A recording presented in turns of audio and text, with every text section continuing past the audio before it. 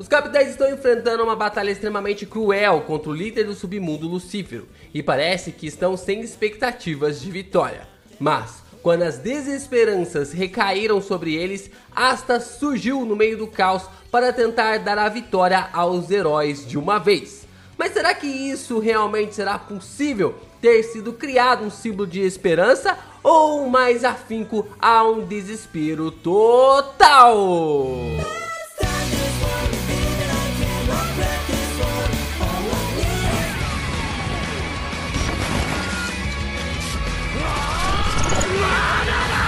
Yo, Geeks, aqui é o LP e vocês estão no canal do Geek Brasil. Fiquem ligados, porque esse vídeo contém spoilers do mangá de Black Clover. Sim, pessoal, vamos aqui discutir e conversar um pouco sobre as possibilidades de um impossível, uma impossível derrota ali do Lucífero. E eu tenho certeza que tem bastante coisa pra gente conversar logo depois de você deixar o seu like, se inscrever aqui no canal e ajudar a gente a bater a nossa meta de 100 mil inscritos até o final do ano. E também compartilhar esse vídeo com seus amigos, porque tem muita coisa pra gente conversar sobre esse assunto. Vamos lá, né? Vamos aqui discutir um pouco sobre todas essas questões levantadas ali através do capítulo 319, né? O Lucífero acabou arrebentando todos os capitães em questão, tipo assim, da metade do capítulo todos já estavam derrotados, né? A gente observou toda uma formação, né, dos personagens e, e a gente consegue ver o nível de poder do Lucífero através dos poderes que até mesmo os capitães utilizaram durante toda a saga em Spade e quando foram utilizar ali no Lucífero, de nada adiantou.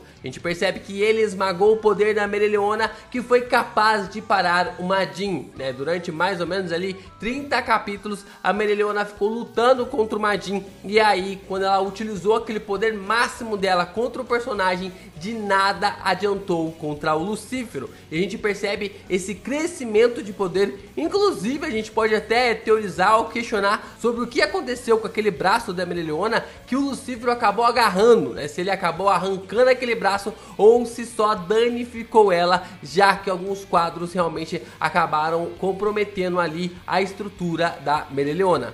Nós também tivemos com que o Jack teve o seu corte parado, daquele corte também que arrebentou com Dante em sua forma insana, né? No jeito como estava ali sendo demonstrado durante todo o capítulo e as deformações que realmente vieram nas decorrências da batalha de Dante versus Magna. Então, mesmo assim, mesmo com esses poderes, mesmo com toda essa construção acontecendo para cima ali dos personagens, o Lucifero foi capaz de parar ali um poder que bateu de frente frente com Madin e como se não fosse nada ali conseguiu parar a Meliliona e também o Jack. Outros personagens nas quais a gente observou Lucífero dando uma surra é o Nozel, né? Que foi servido ali de pano de chão. Porque até mesmo o Nozel utilizando esse feitiço para parar um terço da magia da Megícula não foi suficiente para conseguir bater de frente contra o personagem. A gente percebe que é o mesmo feitiço quando ele tenta ali se espalhar todo o seu mercúrio para tentar pegar o próprio Lucífero meio que desprevenido e ao mesmo tempo criar um contra-ataque para que a Mereleona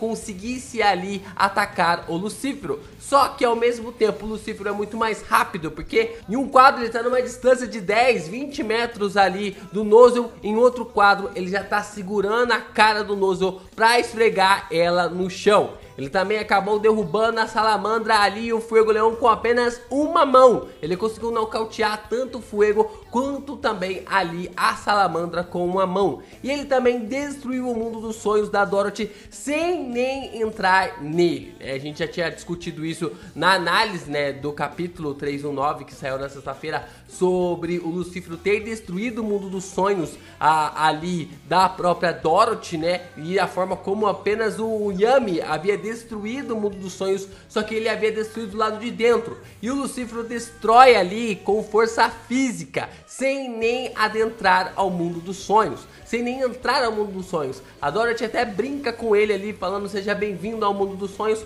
mas ele nem sequer entra, ele nem sequer ali se dá o trabalho de entrar na magia da personagem para mostrar o quão insignificante aquilo é para ele. Ele também acabou com a magia do Ryu ali, do Odin, que ajudou na batalha contra a Megicula, né? Utilizando o Valhalla, o, o próprio Ryu consegue manifestar as Valkyrias e também o Senhor de Valhalla, que é o Odin pra nós, né? O Tabata acaba chamando ali do Senhor de Valhalla, demonstrando toda uma força ali do personagem e também acabou com toda a magia da Charlotte das rosas vermelhas e também das rosas azuis, né? Que acaba sendo ali emanando as maldições para fazer com sua magia fique ainda mais forte. Tudo isso a gente conseguiu ver e observar em um único capítulo de que o Lucífero ele é o caos em pessoa. É o vilão a ser batido em Black Clover e tem muito caos, muito terror para acontecer no mangá ainda. E o mais engraçado, né, e o mais é, incrível de acompanhar toda essa saga em Black Clover é que o Lucifero fez tudo isso sem nem quase utilizar a magia da gravidade, né? Basicamente ali em 99% dos golpes, quase 100% ali, eu só não vou bater o martelo porque eu realmente não vou saber dizer pra vocês, mas em 99% dos casos, nas batalhas contra os capitães, ele só usou a força física. Ele nem conseguiu ali utilizar, ou ele nem quis utilizar a magia da gravidade. Se a gente pegar ainda todos os oponentes que tivemos em Spade através de duelistas contra os capitães e também o Asta, não se deve chegar nem um terço do poder do Lucífero, sendo que boa parte dele ficou preso dentro do submundo, já que ele afirma ali para o Asta de que o personagem impediu o surgimento completo dos seus poderes. Um cara com um poder absurdo desses vai ser difícil engolir uma derrota qualquer, mas afinal como derrotar o Lucífero, como realmente entender essa perspectiva de que ele é um vilão a ser batido e que tem muito caos que ainda está por vir. Por mais que eu acredito ali que a dama não deve ser capaz de cortar ali o pescoço do Lucífero, né? Que ela deve realmente ali parar no pescoço ou o quebrar ela, o que seria um caos maior ainda no mangá de Black Clover. O Asta ainda é a chave para derrotar o personagem. Mas não só o Asta, né? A gente sabe que se lá contra o Zagred o Asta não solou o personagem sozinho, quem dirá agora com essa força inacreditável que o Lucífero tá passando para nós?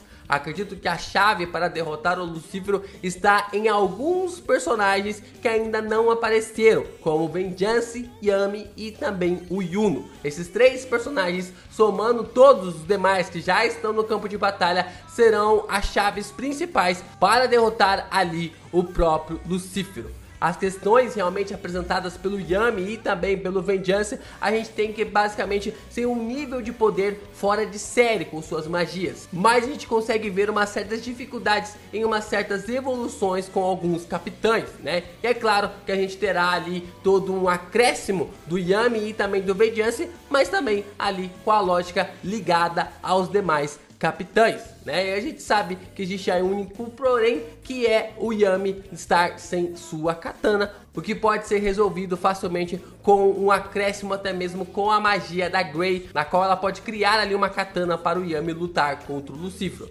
Vengeance é um mago que a gente não sabe nada sobre ele ainda ali em questão sobre os seus poderes de ataque. Tudo que o Vengeance faz é magia de defesa, magia de recuo, magia de proteção, magia de suporte. A gente não viu o capitão lutando pra valer como uma magia de ataque. E o Yuno também é outra carta em branco, já que a quantidade de constelações que esse cara tem ainda pode ter ali um poder enorme para a sua luta contra o Lucífero. Então esses três personagens junto com o Asta podem ser a chave crucial para derrotar o Lucífero. Agora é saber como o Tabata vai amarrar esses três, né, junto com o Asta e os demais capitães para dar uma chance de vitória ainda existe a possibilidade dos touros negros ainda lutarem contra o Lucífero, mas depois da fala da Charlotte dizendo ali que se não fosse a magia do Will, nem os capitães estariam lutando, eu acho muito complicado os touros negros estarem ajudando nessa batalha, a não ser que role algum tipo de nerf ali no Lucífero, causado ali por esses quatro personagens, juntamente com os demais capitães. Eu espero muito que o Tabata consiga amarrar bem esse final e existe um monte de caminho que ele pode prosseguir e que tomara que seja o melhor para a saga de Spade.